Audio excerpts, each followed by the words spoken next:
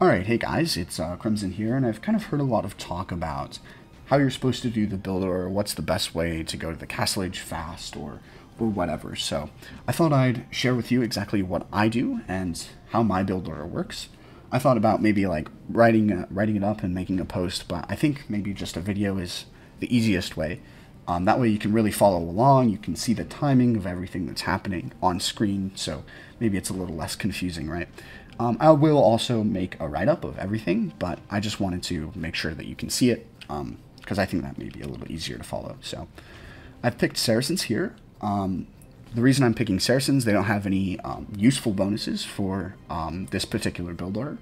You know, maybe like Britons have faster sheep gathering, or Mongols have the faster boar, and uh, Saracens don't really have anything. So they're kind of the generic baseline civ that everything is just kind of the normal way that you would do things, right? You don't need to make any special accommodations for the Saracens here. So that's why I've picked them. They're kind of the generic civs. So um, this build will work with any civ rather than being just for the Britons or something like that. So let's go ahead and get this started. Um, I think that's all I need to really say. So the first three seconds here are really fast. So I want to pause it really quick and explain exactly what happens um, in the first maybe five seconds. A lot happens. So I want to make it so it's easy to follow because it's really fast, like I said. Okay, so the first thing I'm going to do is jump to my town center and queue villagers. Then I'm going to grab these two villagers and make a house, like right here. Jump to this villager, make a house, like right here. Then I'm going to grab my scout, set it to control group 1, and move it to the sheep over here. Okay, so lots going to happen in the first 5 seconds. It happens really fast, but it's important you're this fast because you don't want any idle time, right? So let's go ahead and start and jump to the town, town center, build a house, move the scout, and control group. So we've control grouped, everything's happened. We're waiting for the scout to get the sheep, move the sheep in, and then we'll start scouting with the sheep around, right? Okay, so we got that. Then we'll grab the villagers and start moving them in. Then we'll go ahead and set the rally point, right? Okay. So let's scout with the sheep. Um, just a little uh, thing, you don't have to worry too much about scouting with the sheep, you know. I know a lot of you maybe don't have the practice, and it, is fairly difficult to, to get to a high level where you can just constantly do this. So don't worry too much about scouting the sheep, but do try and keep your scout moving at all times if you can, right? So um, I don't really recommend turning on auto scout at the beginning because it'll kind of just go off in some random direction. So it's maybe not super useful in the beginning, but uh, towards the, the middle, we'll, we'll start using Auto Scout. So, six on sheep. I'm sure a lot of you already know that. That's why I didn't mention it. Um, but yeah, we're going to put six villagers on sheep. That's kind of the most important part. You need six villagers for on sheep for stable, constant villager production. So that's what we're going to do. Six, and then we're going to go four on wood, right? So the first villager will build a lumber camp, and then after that, we'll go ahead and um, just set the rally point on the wood line, right? So Easy peasy, we don't even have to look at the town center, just jump occasionally to it to queue villagers and watch the scout, right? Okay, so here we'll just keep one, one sheep under the town center and just keep this guy moving around, exploring, trying to find our sheep and our pigs and all that. We see one pig up here, we see the second pig. Alright, so the next thing we need to do is go and collect the next pig, okay? So that's our next job. And I recommend always taking the pig that's in the front of your base first. That way you don't get lamed. Uh, because it's much harder to get the pig that's back here than it is to get the pig that's right up here, right? So try and go ahead and take that front pig first. One shot is all you need, and then the next villager will go build two houses somewhere in the front of your base like this. We got bam, bam, like that. Two houses so we don't get housed later on. No big deal, okay? And then we bring the pig in. All is well. Try and get it nice and under the town center. And that next villager will also go to the pig. So we're going to head... Now is the time to turn on Auto Scout once you've found all your pigs and all your sheeps and all that. So turn on Auto Scout.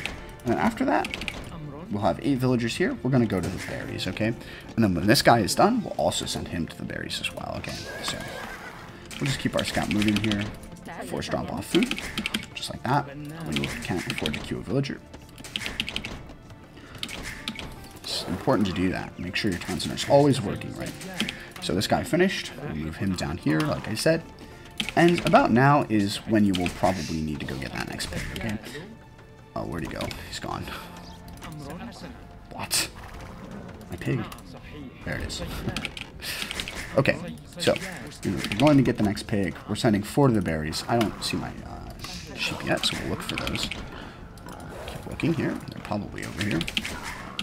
So as you can see, four on berries, eight on the pig here. We're bringing the next pig in. A little late, but no big deal, right? So go ahead and kill that pig. And once we have four on berries, like now, we'll send the next two villagers to the pig and take the low HP villagers off and build farms. So we'll build two farms and put two more villagers in the pig, okay?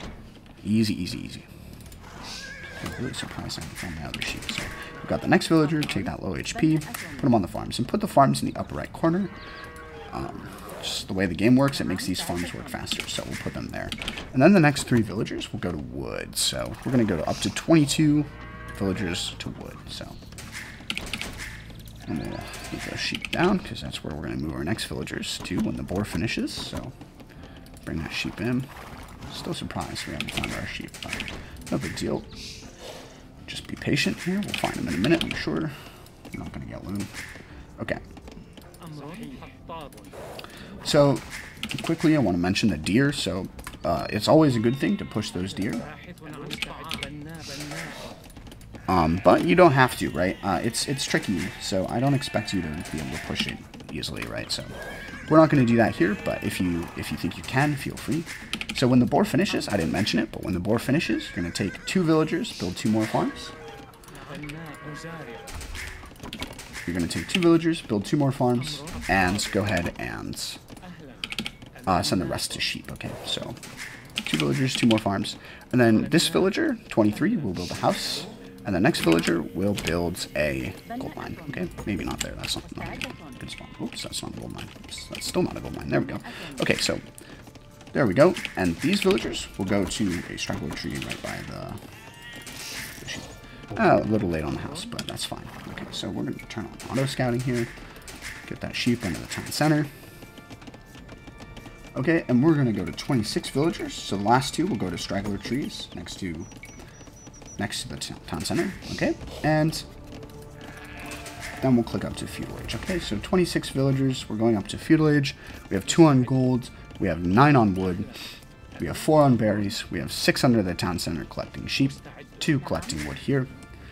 Okay, nice and easy, right?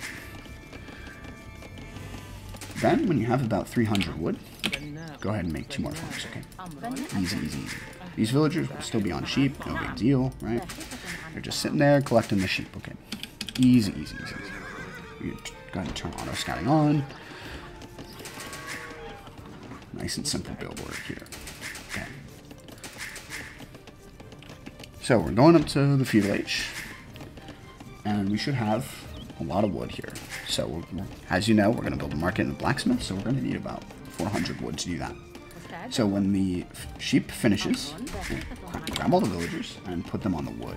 And then we'll probably be able to build one or two more farms, but I think we can only build one, right? Because we need about 400 wood. So then we'll take three villagers off the wood line. We'll send them to the front of our base here to build the blacksmith in the market, and we'll queue two more villagers and set the rally point to the wood line. Okay, so market, blacksmith, two villagers on the market, one villager on the blacksmith. Two villagers queued in the town center, and we'll send them to wood, right? Okay, that's perfect, just like that. You could also maybe get loom, but we're gonna make, um, oops, that's not too good. Make loom instead of that second villager, but I'm not too worried about getting attacked since there's no one to attack me. I'm playing alone, so. As you can see here, the last villager should be... Oh, no, I put him on the wrong build, but we might have not quite enough food. It's a little tight here, but we should have enough. And if you don't have enough, you can just send the villagers that. So now we can go up, and these three villagers are going to go to wood. Now, I know that looks like a lot of wood, but we want to build two town centers, right? And we're going to need a lot more farms, so we're going to need a lot of wood here, okay? So turn on auto scout on. I feel like I've turned it on five times now, but so once you have 100 food, you're going to get the wood upgrade. Get the wood upgrade first, and then we're going to go get the farm upgrade when we have 75 food. So might take a minute here, but come on, give me 75 food. don't feel like you have to uh, force the garrison, but do get it before you go to Castle Age, right? So once you've clicked the uh, horse collar upgrade, you can place two more farms with those two villagers that we put on there. So go ahead and get them there, building the farm, right? And then we will take one villager and build a house. Oh, no, no, no, no, no, I'm not going to do that. That's what I would normally do. Uh, then, when we hit about 80%, we're going to grab four villagers from the wood line and go to wherever we want to place our town center. I think maybe right here on this wood line is good. So we're about 70% now. So let's let's do it right now. We'll grab four villagers. There we go. Drop off the wood. Bring them over here. And I'm going to build a town center right there. So I'm going to place a house somewhere on the way like that. And they'll go build the house and then go build the town center when, when they're done, right? So we'll hit Castle Age, they'll build a town center. So they're already there. Um, this guy's farm will run out. Send him to wood. Okay, no big deal. And this farm will also run out. Send her to wood. Okay, and as you can see, bam, they finish almost exactly at the same time, and you can go build a town center, right? And then the next step is another town center. So let's let's go ahead and put that on our gold, maybe. Um, so try and put one town center on gold and one town center on wood. And then I forgot two bills here. And then we're going to go ahead and grab the wood upgrade. So you see we need a lot of wood, a lot of food. So no big deal. Queue with villagers. And this guy, the third farm to expire, he will get a farm replaced. Okay, so these two farms expire, the next two farms get replaced, and we're just going to queue farms as much as we can. So every new villager, you can pass them to a, a tree nearby, queue them to wood. Oh, I forgot about my berry villagers. So we'll make farms with these guys, right? And there's going to be one extra villager, so we'll send him wood. And every time you have 60 wood, bam, new farm, okay? Every time you send have wood, 60, 60 wood, new farm. So we can't afford it, so we'll just send him wood. No big deal. And we're going to send these guys all to wood, except for two. We need two villagers. On gold, excuse me. And just every time, every time, 60 wood, farm, bam. 60 wood, farm, bam, okay? Just constantly making farms, okay? As often as you can. Every 60 wood, every 60 wood, okay? 60 wood, farm, instantly, okay? Go ahead and get rid of loom. You don't want loom right now. 60 wood, farm, bam, instantly, right? So as soon as you have that 60 wood, instantly farm. So grab this guy. Come on, 60 wood, bam, farm. Over and over and over again, okay? And we're going to do this every time until we have exactly 20 villagers on farms, okay? Oh, another 60 wood, bam, farm. So we're just kind of cycling between where the villagers are and queuing villagers and making farms, okay? That's your entire job. I probably have more than 60 wood, so bam, farm. And bam, we can actually place two. I haven't been doing my job, okay? And this guy is going to come, bam, farm. And then we'll have one villager come build a house, because we're going to need a house in a second, so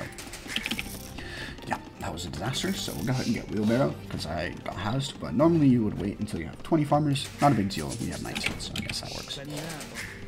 So at 20 farmers, when you have 20 farmers, um, which we will in a second, you will stop and get wheelbarrow. But I got housed, so we got a little early, which is fine. So 20 villagers, and we want about 15 on wood. So then we're going to send two more to gold. And this is your big moment, okay? This is the moment where you either decide to make military or you decide to continue making town centers. So um, I want to just talk about this maybe a, a quick little while. So we're at about 45 villagers right now. Maybe you could go up to 50, it doesn't matter. But once you have about 20 on farms and about 15 on wood, now is your time to decide, do you make more town centers or do you make army, right? So maybe if you're in the pocket, you're playing arena or something like that, you will maybe want to make more town centers, okay? But if you want to make military, now's your chance, right? So make more houses, make more farms, put more on gold, make military. What I'm going to show you is making more town centers, okay? So we're going to go ahead and make more town centers in this example, but now is your chance to make military. So you've got lots of villagers, you've got a lot of town centers, so we'll switch into maybe making army is now's your chance, right? Getting all the upgrades, so now's now's your chance to make army. But for this example, I'm going to show you what it looks like to make more town centers. Okay, this is like a big boom. Okay, so let's go ahead and continue uh, with the idea of making more town centers. Okay, so here we go, more town centers. So all of our next villagers are going to go to wood until we have about 200. 50 wood. Then we'll grab four villagers. Maybe we'll go out to this gold, I guess. Okay, perfect. And you notice we don't have any stone, but we can just jump to our market real quick and buy 100 stone. A little crazy, but we have the gold, and we're not going to use it for anything else, so might as well. Right? So we're going to continue making farms. We need more farms, always more farms, right? Continue just making making more farms as much as we can. Get that villager making houses. I recommend when you're in Castle Age, have one villager whose job it is to just build houses, right?